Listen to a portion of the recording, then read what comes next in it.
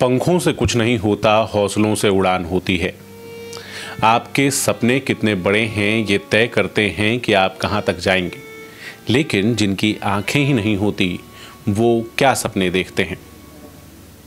जिनकी आँखें नहीं हैं, उनके सपने भी छोटे नहीं होते, और ये बात और पुख्ता तरीके से साबित होती है जब आज नेत्रहीनों का cricket world cup Madhya Pradesh की धरती पर हो रहा है। इंदौर पर होने वाले इस मैच ने को देखने के लिए देश दुनिया भर से लोग आ रहे हैं। ऐसे में हमारे साथ हैं मध्य प्रदेश नेत्रहीन क्रिकेट अकादमी के चेयरमैन, क्रिकेट बोर्ड के चेयरमैन राघवेंद्र शर्मा जी, समाज सेवा से जुड़े रहे हैं। आज के पॉजिटिव न्यूज़ के एपिसोड में हम राघवेंद्र जी से बात करेंगे और जानेंगे कि इस क्रिकेट मैच ने, इस क्रिकेट के पैशन ने खिलाड़ियों के जीवन में किस तरह के बदलाव लाए हैं।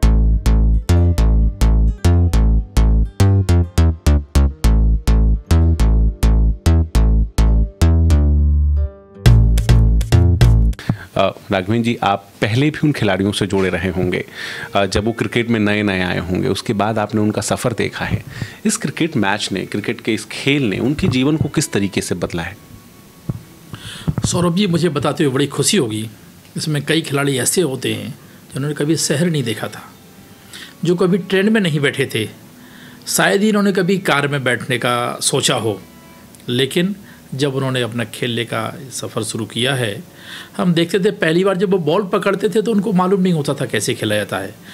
और जो पहले दिन वो बॉल फेंकते थे, दूसरे दिन और तीसरे दिन बॉल फेंकते थे तो मुझे लगता इसमें इतना बड़ा बदलाव दिखता था।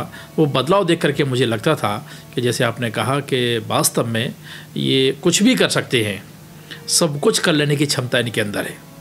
एक हो सकता है मेरा सवाल बहुत बचकाना हो सायदा संवेदनशील भी हो, लेकिन जब कोई भी व्यक्ति नेत्रहीन क्रिकेट के बारे में सुनता है तो उनके मन में एक सवाल आता है कि जो लोग आखिर देख नहीं सकते, वो क्रिकेट जैसा एक्टिव गेम, गेंद, बल्ला, विकेट, फील्डिंग, ये सब चीज़ें कैसे करते होंगे? तो ये आप बताएँगे, कैसे होता है ये खेल? क्रिकेट में क्या कुछ तरीकों में बदलाव होता है? सौरभ जी, मैं अगर आपको इतिहास और पुराणों के अंदर ले जाऊँ, हमारे यहाँ बड़ा वर्णन होता था कि महाराजा दशरथ शब्द वेदी बाण चलाते थे।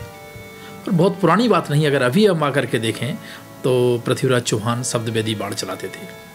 तो जहाँ से आवाज़ आती है, उस जगह पर अपनी सारी इंद्रियों को केंद्रित करके, पूरी शक्ति से उसका उपयोग करना, यही नेत्रीन क्रिकेट की मुझे लगता है, यही उसकी प्रेरणा है। और अगर मैं इस खेल के बारे में कहूँ तो इसके अंदर बॉल के अंदर छोटी छोटी रिंग होती हैं, वो आवाज़ करती हैं, उस आवाज़ पर एक खिलाड़ी खेलते हैं। देश भर में नेत्रहीन क्रिकेट सभी के लिए हौसलों का कारण है। लेकिन अगर हम विशेष करके मध्य प्रदेश की बात करें, जैसा आपने बताया कि कुछ खिलाड़ी हैं जिन्होंने कभी शहर नहीं देखा था, जो कभी ट्रेन में नहीं बैठे थे। आज जब वर्ल्ड कप का मैच, और एक, और इंटरेस्टिंग फैक्ट भारत की टीम विश्व विजेता है, लगातार दो बार वर्ल्ड कप जीत चुकी है, और इस बार वर्ल्ड कप मध्य प्रदेश में हो रहा है।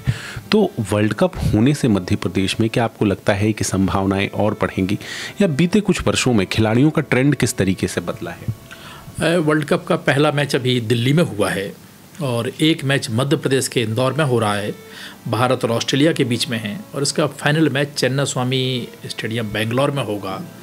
मैं देख रहा हूँ पिछले वर्ल्ड कप से इस वर्ल्ड कप के बीच में जो बड़ा बदलाव दिख रहा है, हमें बहुत छोटी छोटी जगह से खिलाड़ी मिले हैं। हमारा अभी जो एक मध्य प्रदेश की टीम के कैप्टन हैं और भारतीय टीम के खिलाड़ी हैं, वो बुरहानपुर के खरगोन के भीकन गाँव के रहने वाले एक ट्राइब लड़का है। और मैं कहूँ, जब फील्डिंग की बात करते हैं तो उसको देख करके जॉन्टी रोड्स याद आते हैं। अभी बीते कुछ समय में, क्योंकि आप बोर्ड के चेयरमैन भी हैं, किस तरह के नए प्रयास किए हैं और खिलाड़ियों को जोड़ने के लिए, गाँव तक पहुँचने के लिए, नई प्रतिभाओं को बाहर लाने के लिए? सौरभ जी, बाकी लोगों के लिए खेल होगा और वो एक दिन खेलते हैं, हारते हैं, जीतते हैं। लेकिन हमारे जो नेत्रहीन खिलाड़ी हैं, उनके लिए क्रिकेट का खेलना, कहीं जाना अपने आप एक इवेंट है। और वो इतनी तैयारी से करते हैं, वर्षों कहूँ जैसे कोई इसका इंतज़ार कर रहा हो। एक गेम एक बार शहर आना, एक बार उनको कोचिंग मिल जाना, उनके जीवन में नई रोशनी पैदा करता है। अगर मैं कहूँ मध्य प्रदेश में जो खिलाड़ियों की खोज के बारे में तो हमारे यहाँ मध्य प्रदेश सरकार के द्वारा बड़ी संख्या में प्रत्येक ज़िले में C W S N hostel चलाए जाते हैं। हम लोगों ने उनको अपना एक टारगेट एरिया बना और उसमें से हम लोगों ने कुछ खिलाड़ियों को निकाला। फिर जिस तरह से टैलेंट हंट करते हैं, हम लोग जगह जगह पर जाते हैं, खिलाड़ियों को मौका देते हैं। बड़ा कठिन होता है किसी को बोलना कि नेत्रहीन है, जाकर क्रिकेट खेलेगा। सामान्यतः गाँव में, छोटी जगहों पर धारणा है कि नेत्रहीन है, वो क्या कर सकता है। जब हम इन खिलाड़ियों को दिखाते हैं कि युवराज सिंह इनका ऐड कर रहा है, विराट कोहली इनका ऐड करता है, विराट कोहली बोलते हैं, आओ, शोर मचाओ, इनकी हिम्मत बढ़ाओ तो लोगों का विश्वास जगता है। और जब जॉर्ज इब्राहिम जैसे खिलाड़ी जो क्रिकेट ब्लाइंड क्रिकेट के पिता पितामह कहलाते हैं, वो आकर के कोई बात बोलते हैं। तो लोगों को अपील करता है। और मुझे बताते हुए एक बड़ी खुशी हो रही है आपको कि इस वर्ष से हम लोगों ने मध्य प्रदेश के अंदर में एक बच्चियों की टीम भी तैयार की है, women cricket blind women cricket की। और वो भी बहुत अच्छा खेल रही है। और वो छोटी छोटी जगह से पिपरिया में हम लोगों ने अभी उसकी सिलेक्शन ट्रायल रखा था। इतनी छोटी छोटी जगह से प्रतिभाएँ आ रही हैं। पहले 200-300 बच्चों को हम ट्रायल करते हैं, उनको खिलाते हैं। फिर धीमे करते करते 15-17 बच्चों 15 बच्चों तक हम उसको सिलेक्ट करते हैं।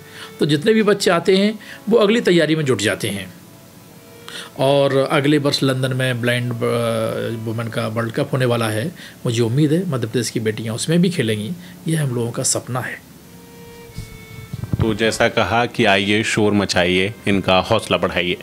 हम भारत देश के लोगों ने क्रिकेट को धर्म तक बना दिया है। ऐसे में जब आपके प्रदेश में जब आपके शहर में नेत्रहीनों का वर्ल्ड कप होने वाला है तो मुझे पूरा भरोसा है कि आप इस मैच को देखने के लिए भी ज़रूर पहुँचेंगे शोर मचाएँगे और उनका हौसला बढ़ाएँगे। हमें समय देने के लिए राघवेंद्र जी आपका बहुत बहुत धन्यवाद। और जो नई प्रयोग क्रिकेट अकेडमी कर क्रिकेट बोर्ड कर रहा है इसके लिए आपको बहुत सारी शुभकामनाएँ। बहुत बहुत धन्यवाद सौरभ जी अगर आपको हमारा ये वीडियो अच्छा लगा तो एक बार चैनल को सब्सक्राइब ज़रूर कर लीजिए। इसके साथ ही आप फेसबुक ट्विटर और इंस्टाग्राम पर भी हमसे जुड़ सकते हैं। आपका बहुत बहुत धन्यवाद।